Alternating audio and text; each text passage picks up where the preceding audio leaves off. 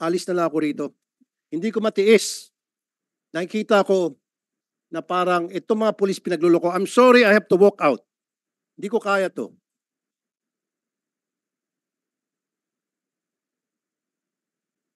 Inconsistent ka kanina. Tapos ang, mas- ang masakit sa akin, pinagluloko mo itong Senado eh. Sinabi mo na walang warrant kasi nagkikasing. Ah, I mean, anong sinabi mo ulit? Sorry? Validating, validating, Your Honor. Hindi, meron ko pa isang sinabi na word. Yun lang, Your Honor, Hindi, meron ko pa validating. sinabi na, sabi mo ano, walang warrant dahil, as- aside Nag- from validating, meron ko sinabi na ano, word. Parang Covert operation. covert. Yes, Your Honor. Sinabi mo covert operation. So, para ma- mailusot mo, yung hindi na sila kailangan magsuot pa ng body cam, na kailangan magsuot sila sa bonnet, you use that word covert para mapagtakpan mo yung kawalan sa procedure na hindi na rin kailangan ng barangay. Di ba? Ginamit mo yun eh. Akala mo mautakan mo tong Senado. No, Colonel, huwag kami. Kasi, and then later on, nung nagbigay sa ng leading questions, si Chief Bato de la Rosa, our Honorable Chair, ah yes, may warrant yan. Nasa warrant, kaya lang hindi namin dala. You see, pinaikot mo kami. Covert operation and, and then ngayon, may warrant pala, hindi lang dala. So kung, kung covert operation, hindi na nga kailangan ng barangay. Kung covert operation, pwede nga mag mag ah, ah, bonnet, tama? Kung covert operation, maski wala nang ang body cam. Pero tatanungin ko si Attorney Bernardo, for the sake of argument, covert operation, ah, Attorney Bernardo ng ah, Napolcom, kailan ba mag-bonnet, ay mag, mag ah, body cam? Hindi. Uh, Your Honor po, uh, kung tutukuyin ko yung sinabi po nila, kung sila ay merong uh, covert operation or validation, this is a planned activity. Kaya dapat dala nila yung warrant of arrest. Kasi nga kung ginayak nila yun, pangalawa, dapat nakalagay yun sa logbook na meron silang operation. Sa informasyon po namin, hindi naman nakalagay na magsaserve ng warrant at ah, meron lang silang ah, titignan. Kaya hindi rin tutugma. Pangalawa, kung yung sabi nila na meron silang ah, service ng warrant of arrest, eh hindi po sumunod talaga sa proseso. At ah, kung titignan po natin, eh doon sa nabanggit nyo pong ah, command responsibility, kung merong ganong infraction, dapat nagkaroon na ng proseso na ah, aalamin saan sila nagkulang at ano ang nangyari. Ah, yun naman yung sanang pinakikiusap namin sa Chief of Police.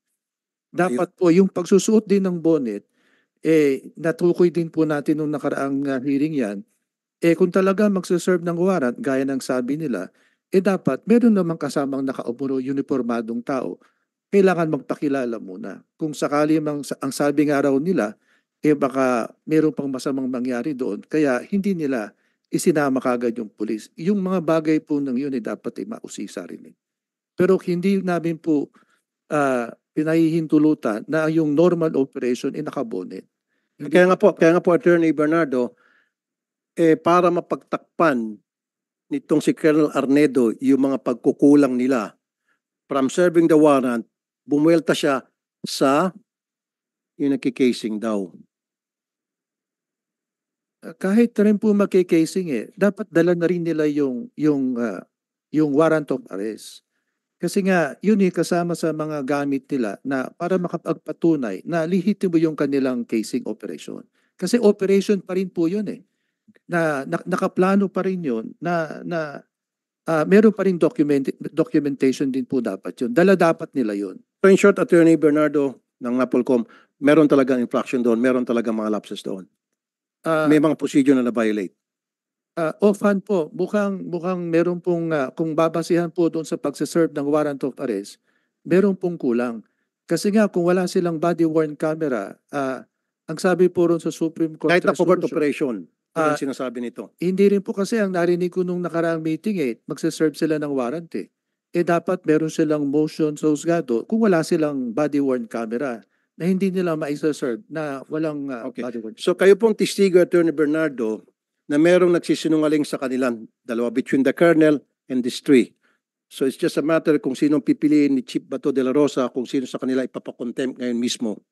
Kasi nga, kayo pong testigo, sabi nila they were serving warrant and they have in their possession warrant of arrest. And now, at Colonel Arnedo said, walang warrant because sila ay nagkikasing lamang. So, clearly, may nagsisinungaling sa dalawa. Covert operation ang ginamit niya. Na- na- tama ba, Senator Bato? Yes, uh, the, uh, in order, it, it doesn't take uh, Attorney Bernardo to to decide kung sino sa kanila nagsinungaling. It's better na pakinggan natin kung sila, kung sino talaga nagsinungaling sa kanila. Sabi, Ka- Kasi, Chairman, Mr. Chi- Mr. Chairman, yun na, very clear na dito, established na rito eh, na nung last hearing, we were all here, at sinabi nila, they were serving warrant. Remember? Meron yes, silang hawak sinabi warrant. nila, Sabi nila. Sinabi nila. Hindi na sinabi na may haraw, hawak silang warrant ha. They were serving warrant. Ang sinabi nila Nagsab- dito. nagsabi ba kayo na hawak niyo warrant? May dala kayong warrant? No, they, they said they were serving warrant. Nag-serve kayo ng warrant, di ba? Operation? Ah, yes, Your Honor, magsaserve po kami nun. Pero hindi, O, pa- ano isi-serve niyo kung wala kayong dalang warrant? Ah, with due respect, Your Honor, ah, lahat po yun ay documented from ah, pag-alis namin. Nag, ah, actually po, planned operation dahil po pinlano po namin yun, naka-logbook po yun, naka-blatter. At O, yun- so, na, naka-blatter, na lalakad kayo, mag-serve kayo ng warrant? yes, Your Honor. Ah, Sana Your yung Honor, blatter, sana ah, yung blatter na yan. Okay, Mr. part Chair. po yun sa okay, mga sinabit Okay, namin na ayan na naman, oh, ayan na naman, Mr. Chair. Palagi natutulas, magsaserve sila ng warrant. At again, kumukontra naman sinasabi ni Colonel Arnedo, yung kanilang PD, na walang warrant dahil sila ay uh, nagkikasing lamang. Again, hindi na naman tumutugma. Ang daming hindi pagtutugma-tugma. Covert operation, hindi, hayaan mo siya magsalita. Let him speak. Do not stop him. Isa ka pa. See, sandali, hindi, I'm not talking to you, sir, Colonel po. You see? Sab- Sinabi niya, they were serving the warrant, they were serving the warrant, which means they have the warrant in possession because if you're serving the warrant, then you must have that paper. Yes, yes, dapat. Kaya nga, di ba? Simple English. They were serving the warrant. So, merong hawak So, sila. saan? Saan ang warrant nyo at that time? Bakit hindi kayo nagdala ng warrant? According to your, uh, dala po ng warrant officer ko, Your Ha? Honor. Ako po yung ako po yung sinasabi lang hindi may dala pero yung warrant officer ko po ay meters lang po ang layo sa akin. Sa, sinong warrant officer nyo the time? Police Corporal Joel Dicen po, Your Honor. Ikaw? Yes, Your Honor. May dala kang warrant ng time na yan? Nasa bulsa ko po, Your Honor, kasi po magsaserve po kami ng warrant of arrest. That, Kaya nga, paano kayo magsiserve kung walang warrant? So, dala-dala yung warrant. dala po namin, Oh, Your bakit Honor. sabi mo na walang warrant? Magbabalidate pa lang kami that time, Your Honor, nung Sandali, sandali. Mr. Bakit Chair. bakit mo sinabi na walang warrant? Mr. Chair, alis na lang ako rito. Hindi ko matiis. Nakikita ko na parang itong mga pulis pinagluloko. I'm sorry, I have to walk out. Hindi ko kaya to.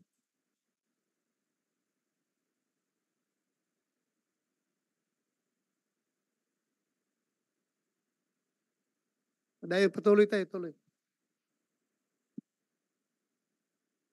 Sabi mo walang warrant. Sir, based doon sa report, sir, ah, pagbabalidate nga sila, ang, wa- ang warrant of arrest is nasa warrant officer, sir, si, ano, which is not part of the validating team. Si Yung nga, Chief dapat Intel. pinintindi nyo kasi ni Tulpo na ang may hawak ng warrant, yung ah, warrant officer. Ay, sir. Sila, Di- intelligence officer, nagsusurveillance sila kung nandoon yung subject. Di ba? Yes, sir. Kasi pag-serve ng warrant, siya na magsiserve ng warrant. Yes, Your Honor. Naintindihan ko kayo. Naintindihan ko kayo. Yung procedure na yan, eh, ginagawa ko yan nung panahon ko. Ganun man talaga. Magsiserve ka ng warrant. Alangan naman, magsusurveillance na ka-uniforme. Bulabog na kayo. Layas na yung subject niyo kung naka-uniforme. Ganun lang yun. That's, uh, one.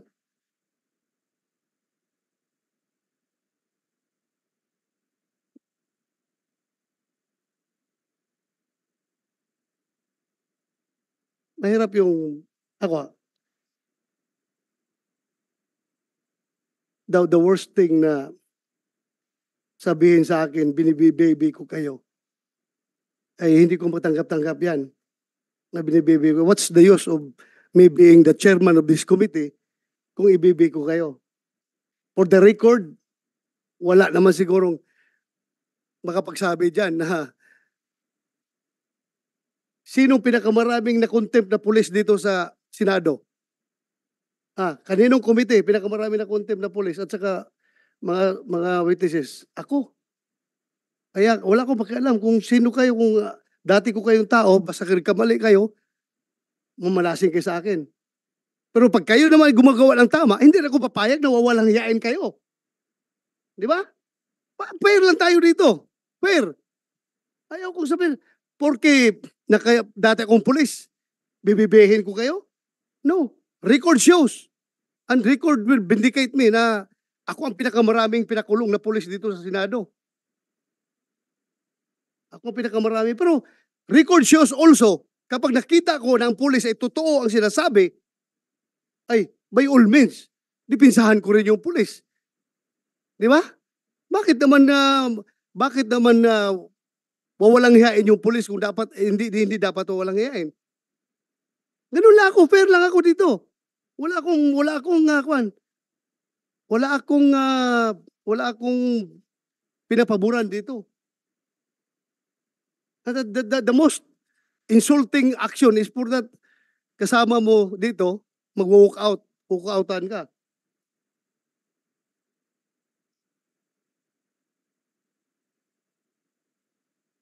Anyway, that's his uh, prerogative.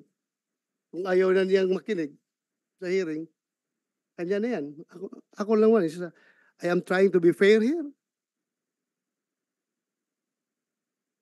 Wala akong, uh, hindi ako, hindi, wala akong bias dito. Kahit na sabihin nyo, dati akong chief PNP, ang dami ng pulis minala sa akin. Ako lang, fair lang ako. Ayaw ko lang rin na masyadong kinakawawa yung pulis na dapat hindi naman kakawain, ka- kakawawain. Respetuhin lang na rin natin dahil kung ano yung right ng mga complainant na civilian, ganun din ang right ng mga pulis. Fair lang tayo. Yun lang sa akin.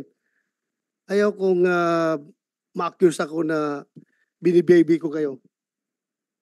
Never, never in my uh, pagiging chief o pagiging Mahirap na magsalita dito. Everything is recorded. If you know me, you will realize para sa inyo nakakilala sa akin, if you know me, you will really know me.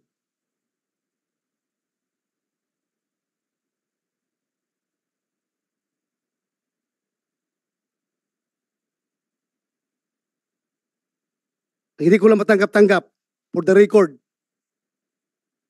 na kayo ay pinagmumura dito. Ha? Ayaw na ayaw ko mumurahin yung taong naka-uniforme, mumurahin, wawalang hiyain. Yan ang hindi ko matanggap-tanggap.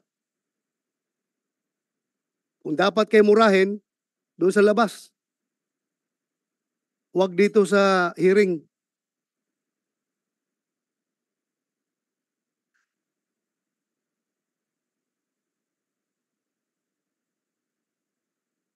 Kasi alam ko, gaano kahirap maging pulis. Ha? Alam ko.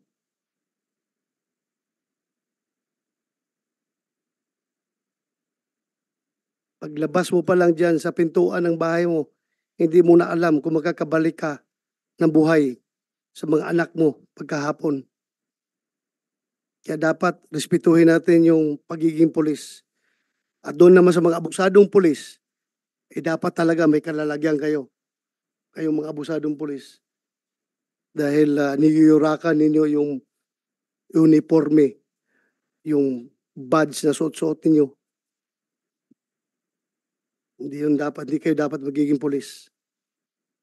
Pero my God, sabi ko sa inyo, I am your number one enemy kung masama kayong pulis.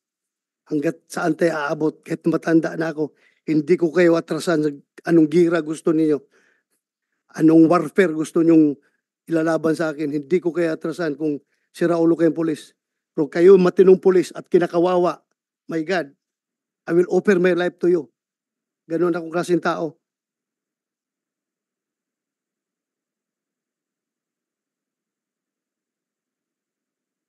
So, standby muna tayo dito sa issue na ito. Yung kay, uh, Juan, Vicente.